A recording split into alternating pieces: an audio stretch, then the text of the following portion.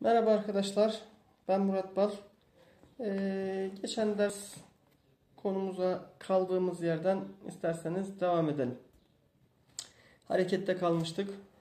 Hareketin var olmadığı kabul edilirse bu kez daha önceki bir harekete dayanarak cezalandırmanın mümkün olup olmadığı da araştırılmalıdır. Söz gelimi kamyon şoförü Ş yorgunluk ve uyku belirtilerine rağmen durup da dinlenmez, aracı kullanmaya devam eder ve yolda uykuya dalıp kaza yaparsa bu takdirde taksirle öldürme suçu söz konusu olabilir. Buradaki dayanak uykuda araba kullanmak değil, uykulu şekilde araba kullanmaya devam etmektir. Özen yükümlülüğüne aykırılık yani taksir. Uykusuz kimsenin durup uyuması gerekirdi. Nitekim İtalyan Yargıtayı 1965 e, tarihli bir kararında ani uyku veya ani rahatsızlığın normal olarak önceden haber veren işaretleri olduğu halde kendi sağlık durumunun bilincinde olmasına rağmen araç kullanmakta devam eden kimsenin kusurlu olduğunu açıklamıştır. Yine silahını dikkatsiz bir şekilde beline takan bir kimse silahın kendiliğinden düşüp de ateş alıp birini yaralaması halinde düşme olayı kendi hareketi olmasa dahi burada daha önceki silahlı dikkat, e, silahı dikkatsizce yerleştirme hareketinden dolayı taksirle yaralamadan sorumlu tutulur. Alkolün etkisiyle ne yaptığını bilmeden hareket eden kimseler bakımından sorumluluk ise aşağıda kusurluk bahsinde kusur yeteneği başlığı altında ele alınacak. Onu ileride göreceğiz. Hareketin sayısı ve şekilleri bakımından suçlar. Birincisi tek, tek hareketli suçlar. Suçun oluşması için tek hareketin yeterli olduğu suç tipleridir. Örneğin öldürme, hırsızlık gibi. Çok hareketli suçlar suçun oluşması için suç tipindeki hareketlerin hepsinin yapılmasının gerekli olduğu suç tipleridir. Örneğin yağma yani gasp dediğimiz suç gibi.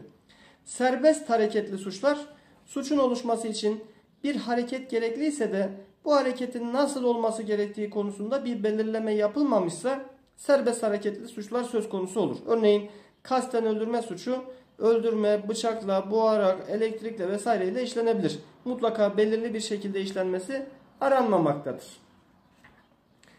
Bağlı hareketli suçlar serbest hareketli suçlardan farklı olarak hareketin kanun tarafından özellikle belirlendiği ve bu hareket dışında bir hareket ile suçun işlenmesinin mümkün olmadığı suçlardır.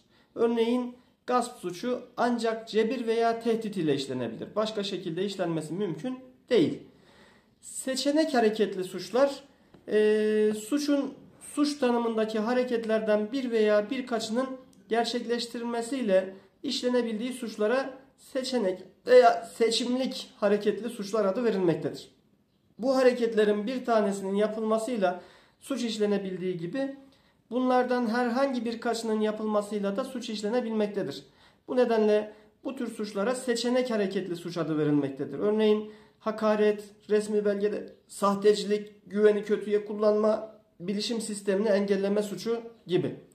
Seçenek hareketlerden birkaçının yapılmış olması suçun birden fazla olmasını gerektirmemektedir. Keza bu takdirde zincirleme suç kuralları da uygulanmayacak faile tek bir suçun cezası verilecektir. Seçenek hareketli suçlardan olan nitelikli cinsel saldırı suçunu işlediği kabul edilen sanıklardan Ömer'in mağdurenin cinsel organına önce parmağını daha sonra da penisini ithal etmek suretiyle gerçekleşen eyleminde zincirleme suç hükümleri uygulanmaz. Bu durumda fail tek bir cinsel saldırı suçundan ötürü cezalandırılacaktır.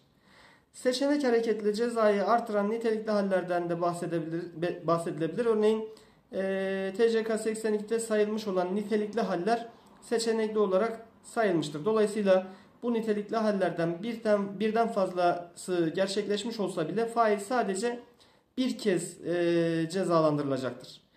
İcrai ihmali suçlar. E, hukuksal yararlara riayet edilmesi gereği iki şekilde ihlal edilebilir.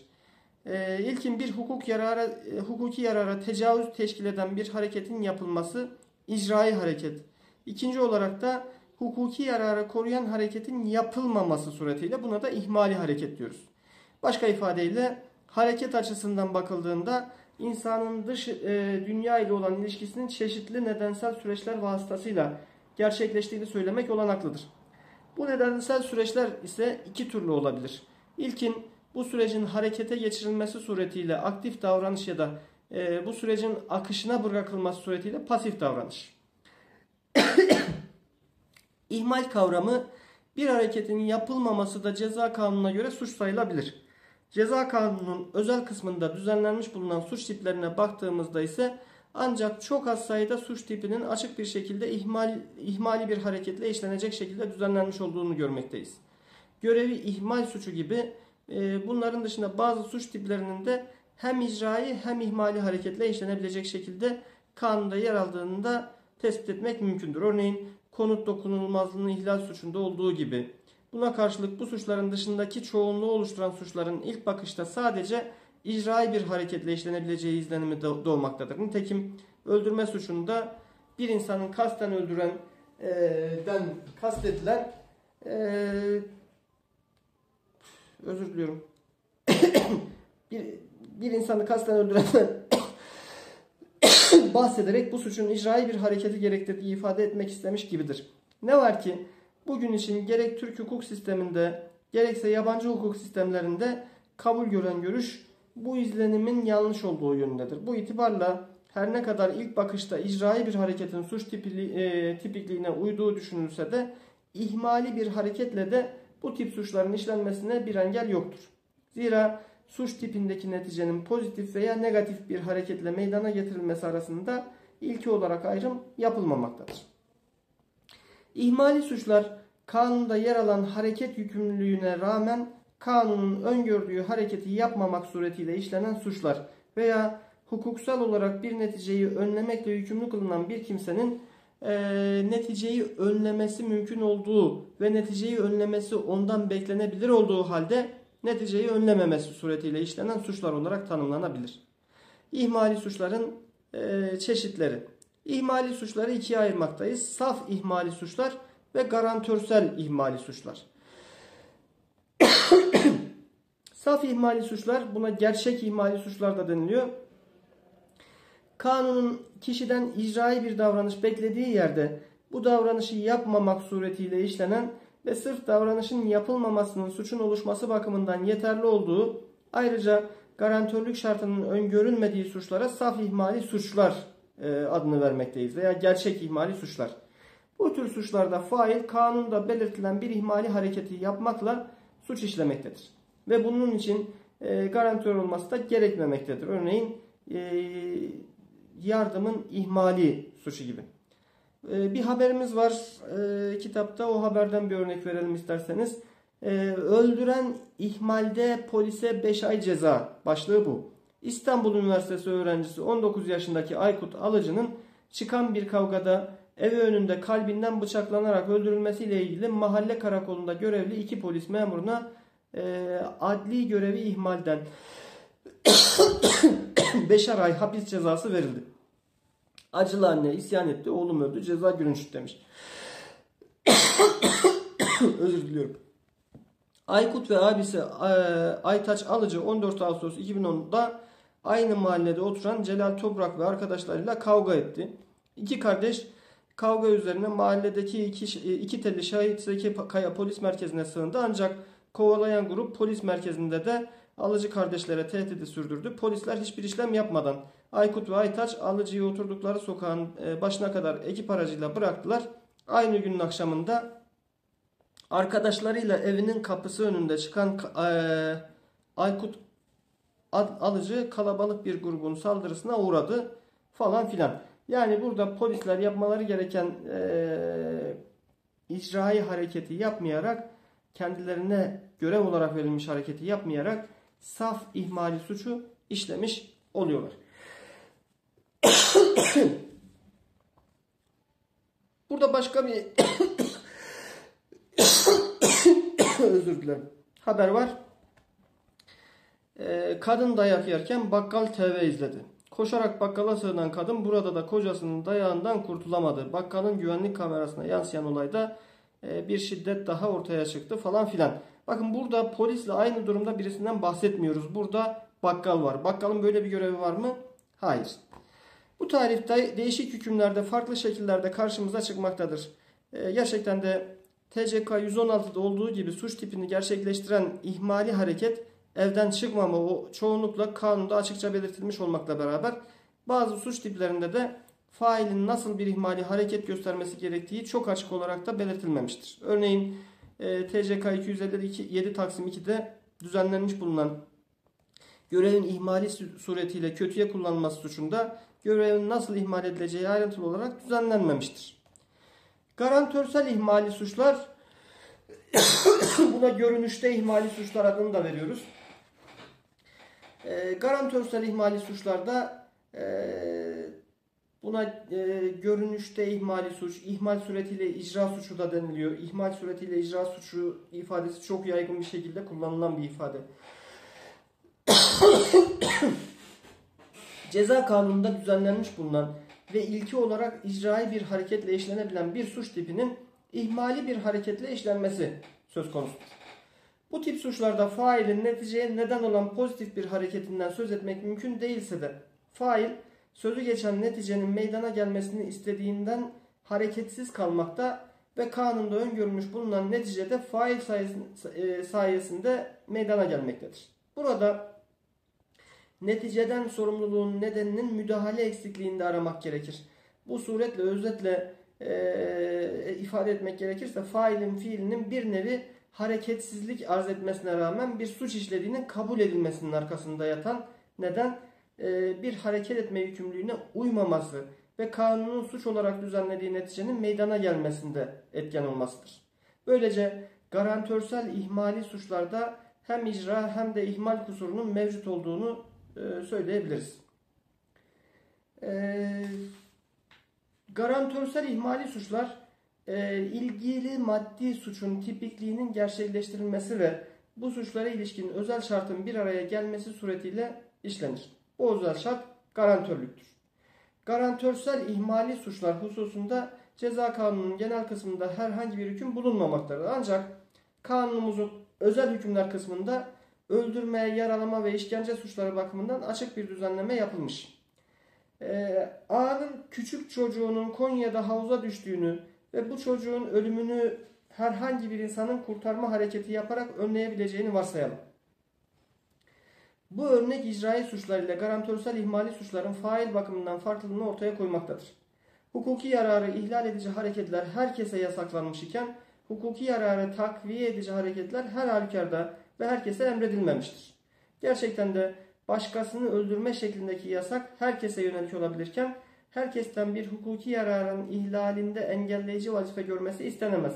Böyle bir talebin suç politikası bakımından da yanlış olduğunu ifade etmek gerekir. Aksi takdirde her kişi bütün hukuki yararlar için yetkili ve sınırsız araçlara sahip özel polis olarak atanmış. Herkes bir nevi vasi haline getirilmiş olurdu. Bu aslında otoriter nitelikteki siyasi sistemlerde çok sevilen bir şey olsa da çoğulcu liberal sistemlerle uyuşması mümkün olmayan bir yükümlülüktür.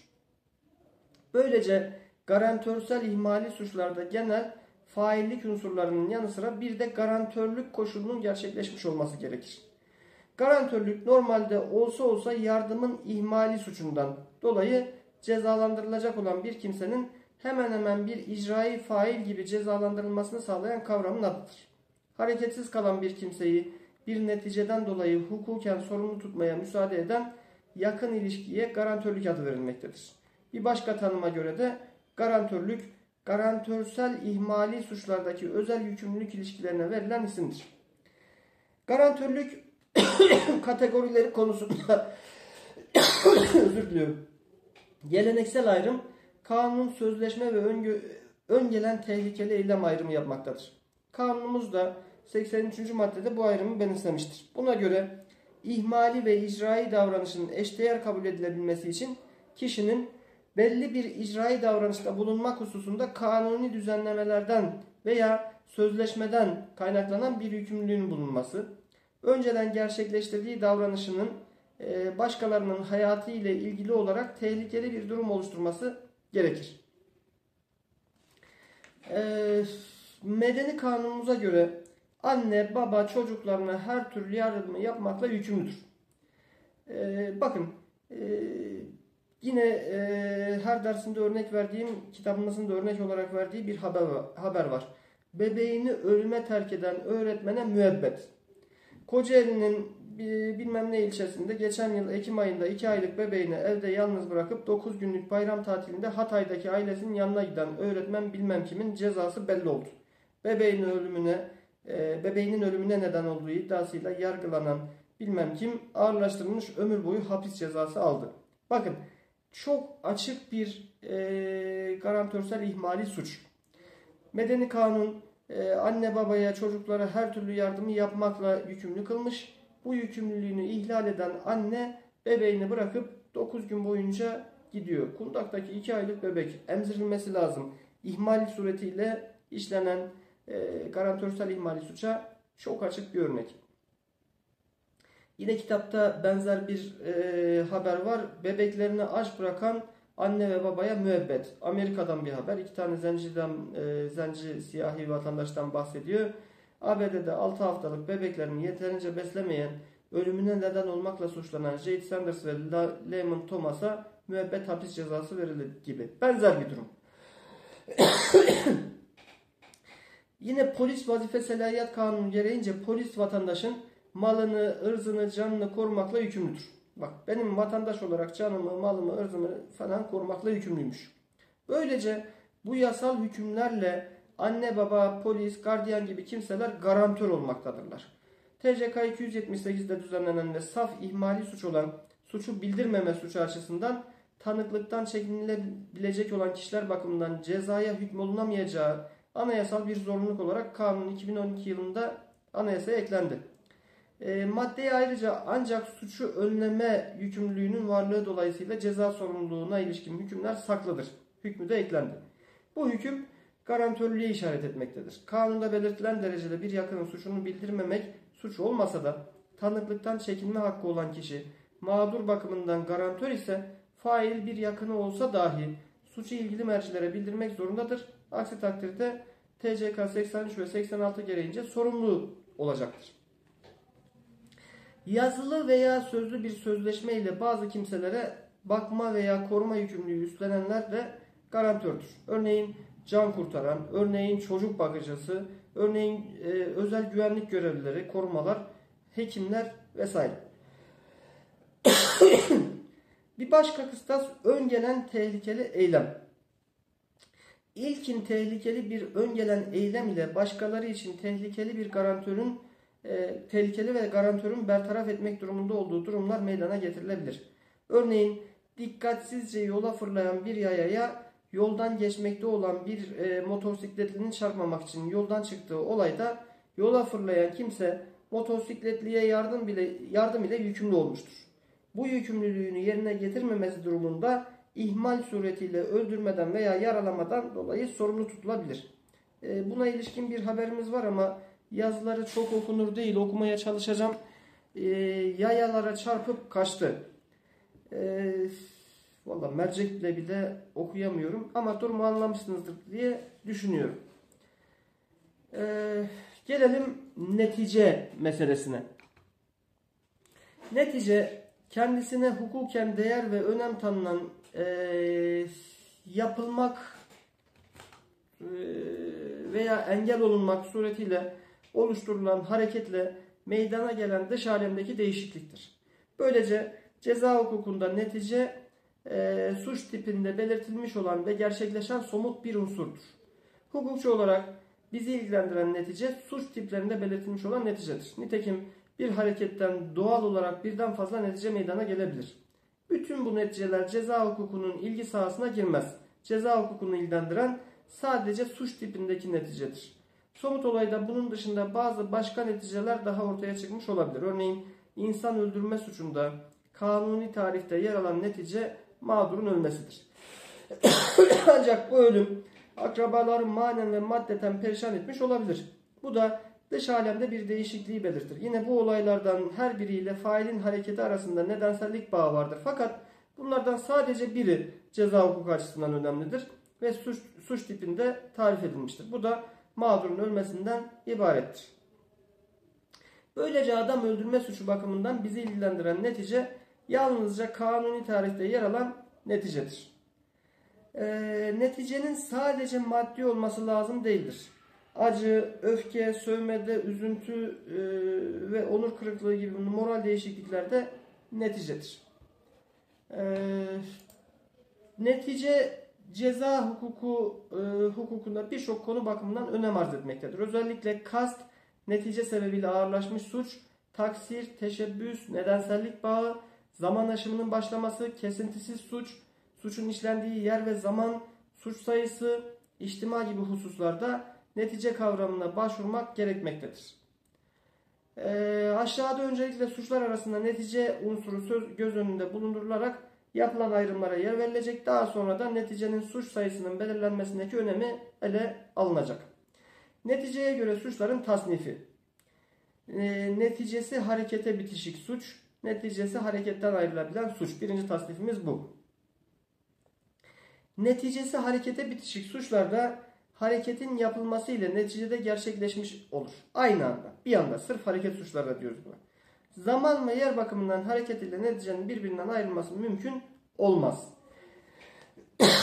Neticenin zaman ve yer bakımından hareketin içinde bulunduğu, onunla kaynaşmış olduğu hallerde neticesi hareketle bitişik suç, e, şekli suç, neticenin zaman ve yer bakımından hareketten sonra meydana geldiği hallerde ise neticesi hareketten ayrılabilen suç yani maddi suç söz konusudur. Burada bir haber var mesela çok güzel bir örnek. Suriye kurşunu 8 gün sonra öldürdü. Suriye'nin Haseki kentinde bağlı Rasule ilçesindeki çatışma sırasında ateşlenen tüfekten çıkan bir kurşunun Şanlıurfa'nın Ceylanpınar ilçesinde ağır e, yaraladığı 15 yaşındaki Ahmet 8 gün sonra öldü. Bakın e, hareketten tam 8 gün sonra netice meydana geliyor. E, buna e, çıplak basit bir örnek. Nasıl hareketsiz suç olmaz ise neticesi suç diye bir şey de yoktur. Şekli suçlarda sadece netice harekete bitişiktir. Yoksa onlarda da netice vardır. Neticesi harekete bitişik suçlara örnek olarak adil yargılamayı etkilemeye teşebbüs, hakaret, sövme ve yalan yere tanıklık suçlarını gösterebiliriz. Bir kimseye hakaret oluşturan sözlerin söylenmesiyle yani hareketi oluşturan sözlerin sarf edilmesiyle hakaret neticesi de gerçekleşmiş olur. Neticesi hakaretten ayrılabilen suçlarda ise hareket ile netice birbirinden e, yer ve zaman bakımından ayrılabilir. Söz gelimi bir kimseye ateş etmek şeklindeki hareket bugün gerçekleştirilip mağdurun ölmesi şeklindeki netice ise yarın gerçekleşebilir. Aynı şekilde ateş etme Türkiye'den yapılıp netice ise Suriye'de gerçekleşebilir. Bu ayrımın önemi suçun işlendiği yer, suçun işlendiği zaman ve icra hareketlerinin tamamlanıp da neticenin gerçekleşmemesi açısından gösterir. yani teşebbüs. Neticesi harekete bitişik suçlarda ihlali belirten hareket yapılır yapılmaz suç da tamam ol, olmuştur. Bu itibarla suç hareketin yapıldığı zaman ve yerde işlenmiş zaman aşımı da o andan itibaren işlemeye başlamıştır. Bu tip suçlarda icra hareketlerinin tamamlanıp da neticenin gerçekleşmemesi asla mümkün olmaz. Zira icra hareketleri tamamlandığı anda neticede gerçekleşir. Neticesi harekete bitişik suçlara sadece bazı istisnai durumlarda teşebbüs mümkün olabilir. Buna karşılık e, neticesi hareketten ayrılabilen suçlarda e, suçun neticenin gerçekleştiği yer ve zamanda işlenmiş ve zaman aşımında o andan itibaren işlemeye başlamış olduğunu kabul eden yazarlar bulunmakla beraber ben hareketin yapıldığı zaman ve yere esas alıyorum. Bu suçlarda netice hareketten ayrı olduğundan hareket tamamlandığı halde neticenin meydana gelmemesi mümkündür. İkinci ayrımımız zarar suçu, tehlike suç ayrımı. Ceza kanunundaki suçlar e, incelendiğinde görülmektedir ki kural olarak bir zararın meydana gelmesi halinde suçun oluştuğu kabul edilirken bazı suçlarda istisnai bazı durumlarda bir zarar meydana gelmeden de sadece bir tehlikenin meydana gelmesi de yeterli kabul edilmektedir. Bu tespit çerçevesinde suçları zarar suçu ve tehlike suçu şeklinde ikili bir ayrıma tabi tutmak da mümkündür. Zarar suçlarında hareketin yönelmiş olduğu konuda bir zararın meydana gelmiş olması arandığı halde tehlike suçlarında suçun konusu üzerinde zarar tehlikesinin meydana gelmesi netice olarak yeterlidir. Söz gelimi adam öldürme suçu bir zarar suçudur. Çünkü failin silah veya bıçak kullanması yeterli olmayıp bunun dışında tipte gösterilen öldürürse neticesinde meydana gelmesi gerekir. Tehlike suçlarında ise hareketin yönelik olduğu e, konunun gerçekten zarara uğramış olması şart değildir. Bu konunun objektif olarak zarara uğrama tehlikesiyle karşılaşmış olması yani e, hareketin suçun konusu üzerinde zarar te, e, tehlikesini yaratabilme imkanının varlığı suç tipinin ihlal edilmiş olması için yeterlidir. Örneğin TCK 170 Taksim 1 B bendinde düzenlenmiş bulunan sele neden olma suçunda bir kimsenin su basmasına kasten sebebiyet vererek başkasının malını tehlikeye maruz bırakması cezalandırılmaktadır. Burada gerçekten de bir başkasının malının zarara uğraması şartı aranmamakta. Zarara uğramadan da sadece malın zarar tehlikesine maruz bırakılması yeterli görülerek cezalandırılmaktadır. Dolayısıyla bu suç tiplerinde failin henüz bir zarar doğmadığından kendisinin cezalandırılamayacağı savunması geçerli olmaz. Zira esasen aranan da bir zarar değil sadece tehlikeye yol açmış olmasıdır. Bu ayrımın önemi bir tehlikeye sebebiyet verilmesinin suç olduğu hallerde aynı eylem nedeniyle ayrıca bir zararın da meydana gelmesi halinde ortaya çıkar.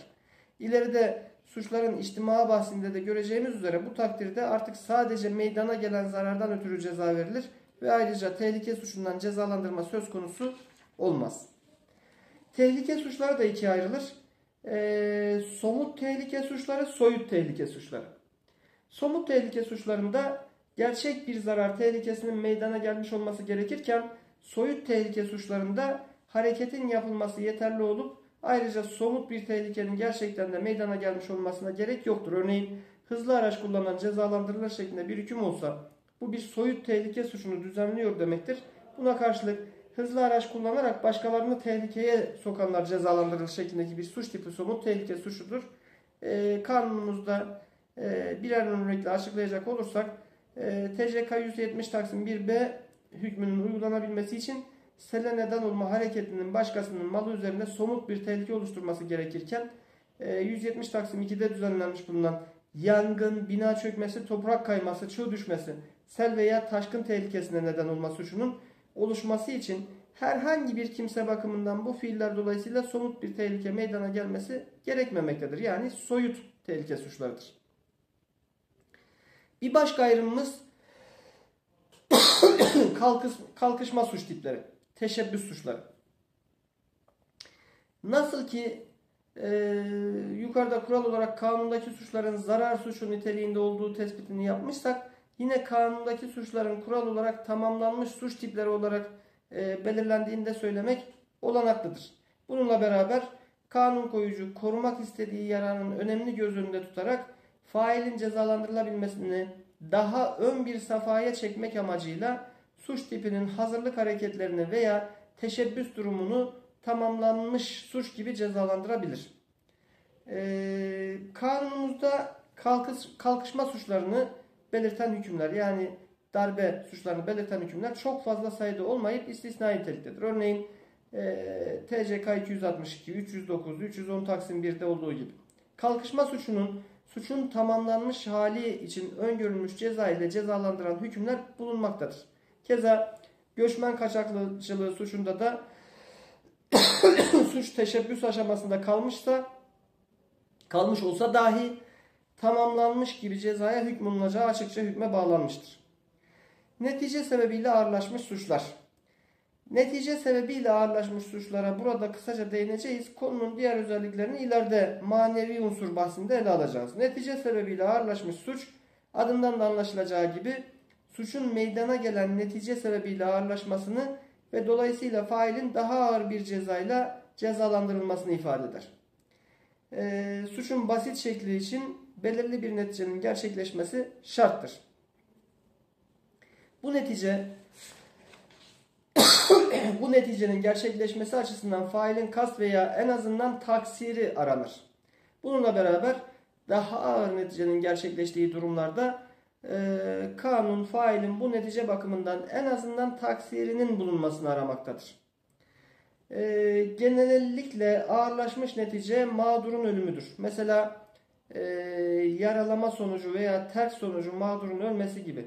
Bununla birlikte e, TCK 109 Taksim 4'te öngörülen hürriyetten mahrumiyet suçunun mağdurun ekonomik bakımdan önemli bir kaybına neden olması halinde de netice sebebiyle ağırlaşmış bir suç, suç söz konusudur. Ani suç, kesintisiz suç ayrımı. Bir suçun ne zaman tamamlanmış sayılacağı birçok yönden büyük önemi olan bir konudur. Nitekim örneğin zaman aşımı süresinin başlatılabilmesi için suçun tamamlanma anını bilmek gerekir. Keza suç tamamlandıktan sonra artık o suça iştirak mümkün olmaz.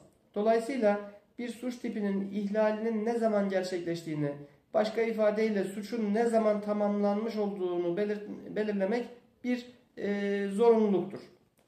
Bu çerçevede burada ele alınması gereken sorun neticenin bütün suçlarda bir arada e, bir anda gerçekleşerek mi tamamlandığı yoksa neticenin bir anda tamamlanmadığı, aksine bir müddet süre geldiği suçların bulunup bulunmadığıdır. Her suçta netice bir olaydır ve bunu kanun koyucu suç tiplerinde değişik şekillerde belirtmiştir.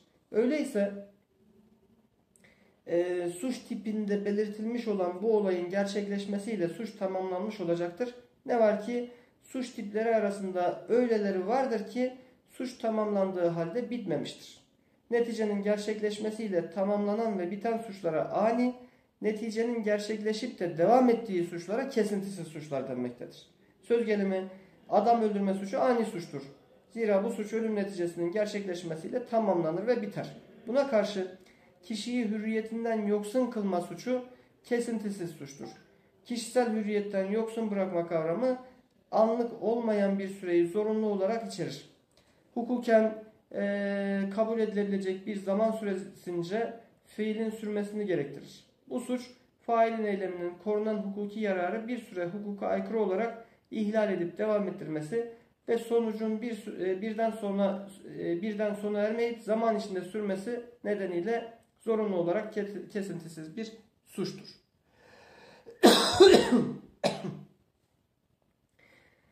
Ee, TCK 220'deki örgüte üye olma, TCK 262'deki kamu görevinin usulsüz olarak üstlenilmesi fiilleri birer kesintisiz suçtur. Kanunumuzdaki suçların çoğu ani suç olup kesintisiz suç e, sayısı sınırlıdır. Yine e, hükümlü veya tutuklunun cezaevinden kaçması, askerlik hizmetinden kaçma, eziyet, kullanmak için uyuşturucu veya uyarıcı madde bulundurma, taşınması yasak eşyaları taşıma, kesintisiz suçtur. Keza insan ticareti suçu da kesintisiz suçtur. Kesintisiz suç ile diğer suçlar arasındaki farklar 1. Zincirleme suç ile farkı. Kesintisiz suçta suçun maddi hareketinin aralıksız devam etmesine mukabil zincirleme suçu meydana getiren hareketler bir defa e, suç unsurlarını ihlal edip suç tamamlandıktan sonra tekrar edilmektedir. Zincirleme suçta devam eden husus suç işleme kararı olmakta, suçun maddi unsurlarında aralıklar bulunmaktadır. Halbuki kesintisiz suçta suçun maddi unsurlarında da devamlılık hali mevcuttur. İz bırakan suç ile farkı nedir? İz bırakan suça klasik misal olarak yaralama suçu gösterilmektedir. Bu suçta netice devam etmediğinden bu suç bir ani suçtur. Ancak suç devam etmemekte ise de suçtan meydana gelen kötülülük devam et, e, devamlı arz etmektedir. Dolayısıyla yaralama e, hareketin yapılmasıyla gerçekleştiği halde meydana gelen netice mesela e, çehrede sabit eser devam etmektedir. İz bırakan suçlarda neticenin devamının önemi olmayıp bu cezayı arttıran ya da suçun daha vahim sayılmasını gerektiren bir etkiye sahiptir. Yani nitelikli haldir. Burada önemli altı çizilmesi gereken konu e, neticenin devamı ile suçun devamının aynı şey olmadığıdır. Bir ani suçun iz ve eseri de devam edebilir. Dolayısıyla örneğin yaralama suçundan neden olunan hastalığın devamı aslında ani suç olan yaralamanın kesintisiz suç olmasını gerektirmez. Eğer hukukun ihlali bir anda oluyorsa adam öldürmede, yaralamada olduğu gibi suç anidir. Ee, bunlarda sadece suçtan husule gelen fenalık devam eder. Bu tip suçlara iz bırakan suçlar adı verilir. Suçun kesintisiz olmasının sonuçları neler? Suçun işlendiği yer ve zaman bakımından e, suçun kesintisiz olması ile ani suç olması arasında farklılıklar vardır. Kesintisiz suçlarda kesintinin gerçek- gerçekleştiği yer ve zamanda suç işlenmiş sayılır. Gerçekten de ani suçlarda tamamlanma anı söz konusu iken kesintisiz suçlarda bir tamamlanma aşaması söz konusudur. Bu aşamanın bir başı ve bir sonu olabilir. İşte kesintisiz suç bakımından sorun bu aşamada bu zaman birimindeki hangi noktanın suçun tamamlanma anı olarak kabul edileceğidir ve kanunlar bu aşamanın sonunu dikkate almaktadırlar. Bu da isabetli bir tercihtir. Zira hukukun ih- ihlalinin devamı sona ermedikçe suçun işlendiğinin kabul edilmesi doğru olmaz.